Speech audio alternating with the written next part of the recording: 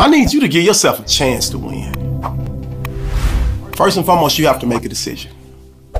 Are you going to be a whiner or are you going to be a winner?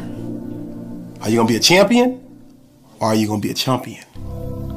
So I see you sitting there with your head down. Woe is me. Living in woe is meville. I need you to own everything that you are right now. Stop blaming everybody else. The blame game is over.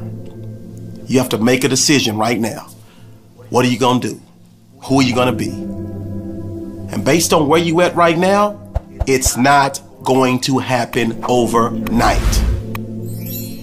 Give yourself a chance to win. You know that recurring thought that keeps coming to your brain that I should do this. I'm good at this. This is where I should be at. You have to act on it. You keep living this mundane life each and every day, the same old, same old, and expecting a different result. That's the definition of insanity. If you want to go places that you never thought you could go, that is going to require you to do things that you've never done before. I always think back to the legendary NBA Hall of Famer Kevin Garnett. In the interview, he was at the height of his game. He was balling out. But the interviewer asked him, What drives you? He said, I'm losing. And he just kept saying it, I'm losing. And that forced him to do something that he wanted to do. He had to leave his comfort zone. The team he was playing for, Minnesota Timberwolves, he was comfortable there. But in order to go to another level, in order to win that championship, he had to go to the Boston Celtics. He had to accept that trade and team up with some other people who are at his level. And I need you to do the exact same thing right now. You're not hanging with winners. You're not hanging with champions. I was watching this video. There was a young lady. She was on the on the phone. It was her birthday, and she was just twerking and twerking. And that wasn't even the bad part. The bad part is the person that was recording the video that was hyping her up. Just all this negativity just spewing into the universe. And she wondered why she was losing. You wonder why you're losing. Not only are you not making great decisions, but you hanging around other losers. You gotta change the company that you keep. You showing your friends, I'll show you your future. Right now, your future looks bleak because everybody that you hanging with are losers. And they cheer you on to continue to lose. Instead of that young lady saying, no, no, no, no. You, know, you don't wanna put that type of energy out to the world. She was a cheerleader of negative energy. You gotta have a cheerleader of positive energy. You gotta have a cheerleader, somebody that's pushing you, an accountability partner that's like, yo, did you get your steps in today? Yo, did you make those calls today? Yo, did you step out of your comfort zone today? I need you to give yourself a chance to win. And in order to do that, you have to do something. Do something. Once you start doing, you'll be amazed at how the universe, you'll be amazed at how God, you'll be amazed at how things seemingly start to fall into place. Not overnight, though. Not overnight.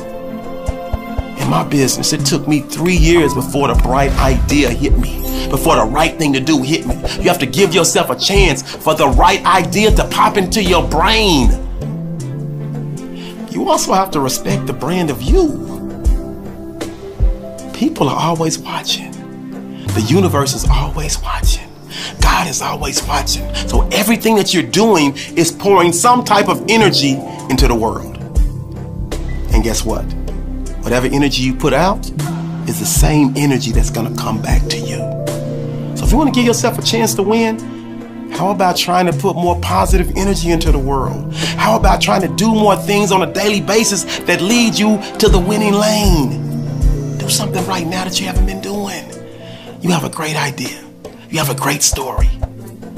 You do something better than other people do. What is that thing? Figure it out and turn that into your life passion. Turn it into your work. And it's like you never worked a day in your life. But you gotta do the work. You got to sit down and write out your goals, write out your plan, and embrace the failures. They're going to come, they're going to happen. It's all a part of maturation. You don't just start something and automatically win. You have to do and do and do and do. And you have to be patient and embrace the setbacks and failures because they're going to come. On your journey to next level success, they are going to come. The roadblocks are going to come. The doubters are going to come. The naysayers are going to come. But you have to shake them off. You have to brush them off and keep moving forward and let one day become two and let two become three and three turn into a week and a week turns into a month and a month turns into a year. And before you look up, you find yourself hoisting that gold medal. You find yourself holding up the big trophy. You find yourself achieving next level success. Only you can start your trek. Only you can start your journey. Only you can give yourself a chance to win. So pick yourself up by the bootstraps. Pick your head up. Don't quit. Don't give up. I don't care how old you are. If you start right now and you stay consistent, you don't quit and you don't look back and you keep moving forward and you surround yourself with positive energy, you, my friend, are officially putting yourself and giving yourself a chance to win. And that's all you can ask of you. It's you versus you.